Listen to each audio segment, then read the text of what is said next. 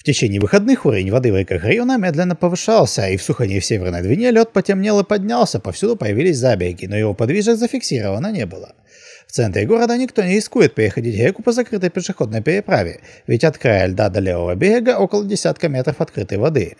А по ледовой дороге через Северную Двину напротив Кузина утром понедельника люди еще ходили. Можно ли нормально вот дойти в не в резиновых сапогах? Да нет, наверное, в не в резиновых-то не дойдешь. А самое глубокое место какое? Вот здесь, вот у, у берегов самые глубокие места, где размывает. А так, А там посередине, по самой вот те- телепереправе нет ничего? ну, посередине-то нет, там более-менее, там сделали спуск воды, так проходили, прошли хорошо. Тем не менее, в понедельник глава района сообщил, что принято решение закрыть переправу через Северную Двину даже для пешеходного движения. Пересекать реку стало опасно для жизни. В течение этой недели переправу подорвут саперы. Неподалеку от ледовой дороги расчищает себе путь буксир ледокольного класса РБТ-509. Зиму теплоход провел во льду, и всю минувшую неделю матросы готовили судно к началу навигации. В течение пары дней корабль пробьет себе путь за тон. Там он будет в безопасности во время ледохода и заодно очистит поверхность искусственного водоема для того, чтобы при первой возможности можно было вывести на реку паром.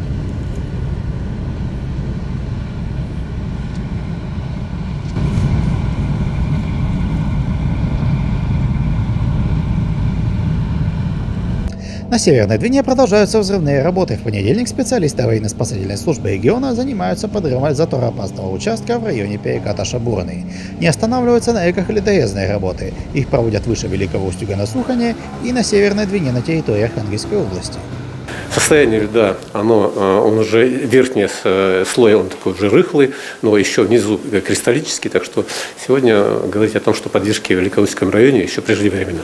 В ближайшие дни уровень воды будет повышаться до 40 сантиметров, может быть даже до 50, и тогда уже ближе к, середине, к концу недели будут и подвижки, и вот э, ожидаются, может быть, как- какое-то определенное движение льда. В 15 часов 12 апреля уровень воды в Сухане на водомерном посту в районе Великого Устюга составлял 183 сантиметра. По словам главы района, первые подвижки начнутся, когда уровень воды будет около 3 метров. Тем временем ледоход уже начался в Тотьме. Эту информацию подтвердили областные гидрологи. Впрочем, до Великого Устюга ледоходу еще надо преодолеть 278 километров. Максим Тятов, Антон Хаев, Вячеслав Голиков, телеканал «Русский север».